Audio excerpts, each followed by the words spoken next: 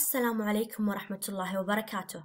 اليوم راح نتطرق لمنصة مدرسة والتي تعتبر منصة أكاديمية تعليمية تستهدف الطلبة من مراحل التدريس المبكر وحتى مرحلة ما قبل التعليم الجامعي. وهي منصة علمية توفر محتوى تعليمي عالمي متميز باللغة العربية في كافة مواد الرياضيات والعلوم العامة والكيمياء والأحياء والفيزياء واللغة العربية. وهي إحدى مبادرات محمد بن راشد آل مكتوم العالمية. تم تدشين المنصة في مرحلتها الأولى في سبتمبر 2018 وتضم خمسة آلاف درس تعليمي مصور. وتم إعداد وإنتاج هذه الفيديوهات التعليمية بالاستناد إلى أحدث مناهج التعليم العالمية. كما تم تطبيق أرقى المعايير والضوابط الفنية في اختيار المواد العلمية وتعريبها وموائمتها وفق المناهج المعتمدة في الدول العربية. وفي 18 ديسمبر 2020 وبمناسبة الاحتفال باليوم العالمي للغة العربية تم إطلاق المرحلة الثانية من تطوير محتوى منصة, منصة مدرسة. تشمل تطوير محتوى تعليمي في اللغة العربية. من خلال ألف فيديو تعليمي يغطي منهجا متكاملا في مادة اللغة العربية. يشمل المراحل الدراسية من رياض الأطفال وحتى الصف الثاني عشر إلى جانب فيديوهات تثقيفية أخرى في جماليات اللغة العربية وآدابها. بالإضافة إلى تطوير محتوى قصصي للأطفال كما تركز منصة مدرسة على التعليم الذاتي الذي يسعى إلى بناء مهارات الطالب ويعزز قدراته التنافسية. وتشمل رؤية مدرسة إلى توسيع فصولها الإلكترونية لتشمل مواد تعليمية أخرى بحيث تركز على العلوم المتقدمة كالهندسة وعلوم الفضاء والبرمجة والذكاء الاصطناعي وغيرها. الجدير بالذكر أن منصة مدرسة تركز في المساهمة في إعداد جيل جديد من الباحثين والمبتكرين العرب والمساهمة في خلق كفاءات عربية شابة مؤهلة علميا ومتمكنة من التكنولوجيا الحديثة وقادرة على بناء مجتمعات قائمة على اقتصاد المعرفة وممارسة دورها في صناعة مستقبل دولها. أولاً وقبل شرح الأجزاء الداخلية لمنصة مدرسة، يجب علينا أن ننوه أن المنصة تعتمد بشكل كلي على ترفيه المتعلم بحيث نجد أن هنالك ألوان ورسومات مختلفة تجذب الطالب بحيث أن الطالب عندما يدخل للتعلم يجد جانب المتعة فلا يشعر بالملل والشعور بالروتين. الآن قبل بداية الشرح نبدأ بتسجيل الدخول.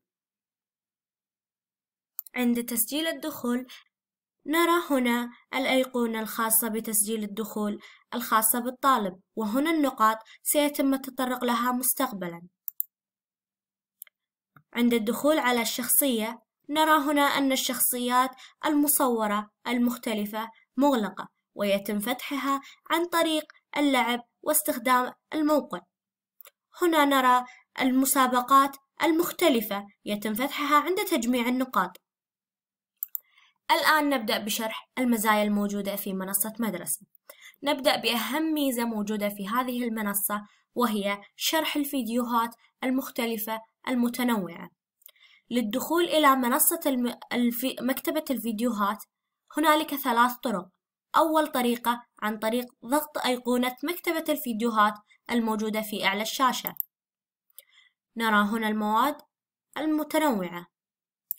الطريقة الأخرى عن طريق اختيار المادة التي أريد رؤية فيديوهاتها مباشرة. أما الطريقة الثالثة عن طريق النزول للأسفل والضغط على مكتبة الفيديوهات. مثال نبدأ في الرياضيات. ندخل على الهندسة. هنا نرى المواضيع التي تشمل مو... جزء الهندسة. مثلا ندخل على الأشكال. هنا نرى مجموعة مختلفة ومتنوعة من الفيديوهات التي تشرح الأشكال الهندسية. نشغل المقطع.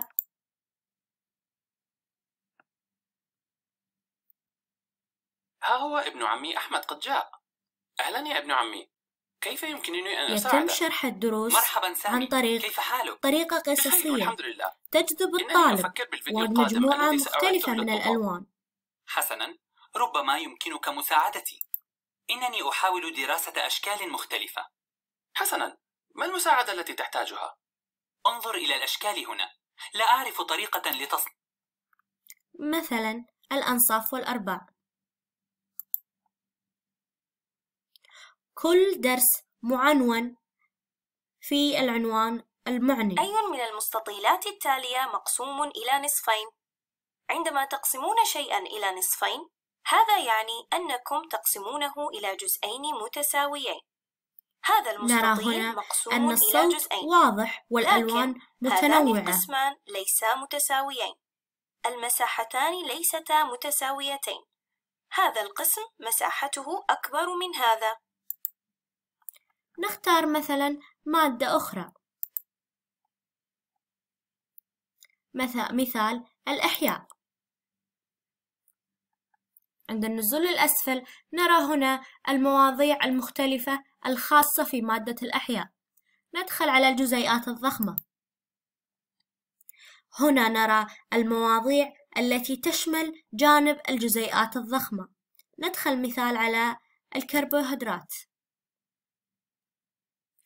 هنا نرى أيضا المواضيع المعنونة في درس الكربوهيدرات.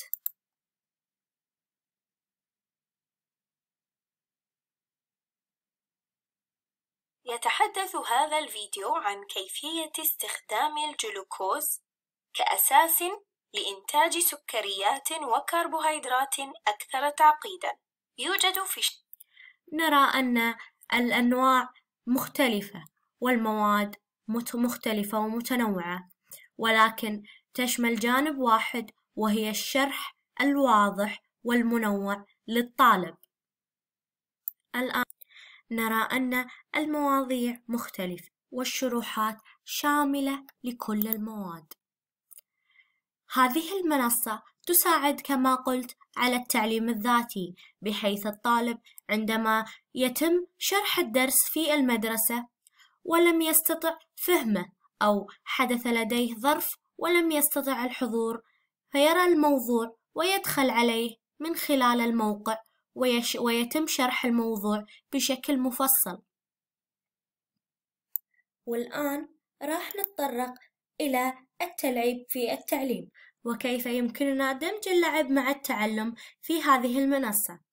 بالبداية أن دمج عناصر اللعب مع التعليم له عدة أهداف منها تحسين أداء الطالب وتجعل الطالب يحب أن يتنافس مع أقرانه وبالتالي سيؤدي إلى زيادة في المشاركة. وفي الوقت ذاته ستجعل من الأنشطة أكثر متعة وأكثر حركة لدى الطلاب. إن منصة مدرسة تتبنى التلعيب في التعليم لوسيلة لتشجيع الطالب وتحفيزه على التعلم.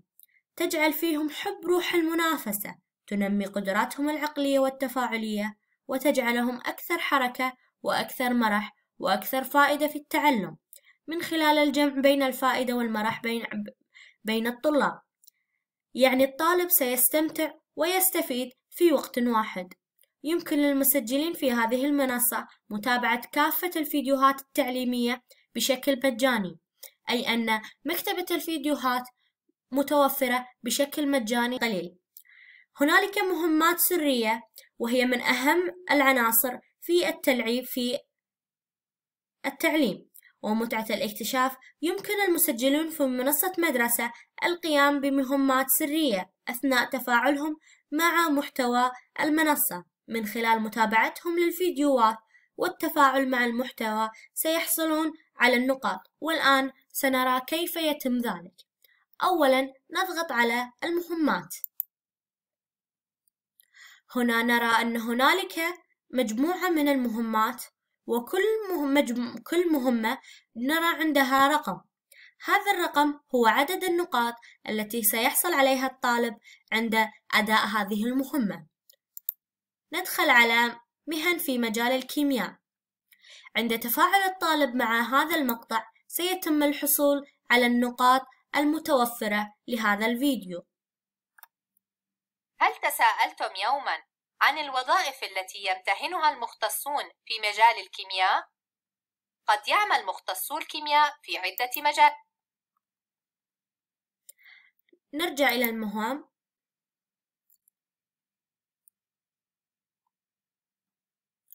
هنالك عدد مختلف من النقاط التي يحصل عليها كل مهمة لها عدد نقاط وكلما كانت المهمة في بها أكثر تفاعل كانت هنالك النقاط عددها أكبر. عند تجميع النقاط نذهب إلى نجوم مدرسة. هنا نرى أن هنالك الطلاب جمعوا عدد كبير من النقاط وتنافسوا بحيث نرى هنا أن الطالب الحاصل على المرتبة الأولى هو نصير حمودي وهذا عدد النقاط الحاصل عليه. هنا عدد مختلف ومتنوع من الطلبة من كافة الدول العربية. وأخيرا سوف نتطرق إلى قصص مدرسة وهي آخر الأجزاء المضافة في منصة مدرسة كما ذكرنا سابقا. للدخول عليها يوجد لدينا طريقتان وهي عند الضغط هنا على قصص مدرسة الموجودة في الصفحة الرئيسية. أو عند النزول للأسفل نرى هنا قصص مدرسة. موقع قصص مدرسة هي مكتبة قرائية متنوعة تحتوي على 200 قصة للأطفال باللغة العربية كجزء رئيسي من منهاج اللغة العربية المتكاملة الذي طورته منصة مدرسة للتعليم الإلكتروني العربي بحيث تشكل هذه القصص والحكايات المصورة أداة تربوية معززة ومكملة تربط العملية التعليمية بالقراءة التي تجمع بين الفائدة والمتعة وتسهم في توسيع أفق الطفل العلمي والمعرفي والثقافي والإنساني. قامت فريق تطوير محتوى منصة مدرسة بتحويل القصص المكتوبة إلى فيديوهات باستخدام تقنية الرسوم المتحركة مع إضافة الأصوات لقراءة القصص بلغة سليمة. وكذلك استخدام المؤثرات الصوتية وإضافة النصوص على القصص لدعم عملية الاستماع بالقراءة مما يعزز مهارات الطفل القرائية. هذا القسم التعليمي مفيد لعمر الروضة والابتدائي. يحتوي على القصص والأغاني المتنوعة. يمكنكم التسجيل مما يتيح لكم حفظ القصص. عند الضغط على هذه العلامة نرى هنا التسجيل. عند تسجيل الدخول سوف يتيح لكم حفظ المقاطع أو وضعها في المفضلة. أيضا يمكننا البحث عن أي قصة نريدها. يحتوي قصص مدرسة على ثلاث أجزاء. الجزء الأول هو جديدنا وهنا يضم القصص التي تم إضافتها مؤخرا. هذا الشريط يظهر لنا القصص ويمكننا التنقل عبر السهم الجانبي لنرى بقية القصص. أما الجزء الثاني وهو يضم الأكثر مشاهدة هنا نرى القصص الأكثر مشاهدة من قبل طلاب منصة مدرستي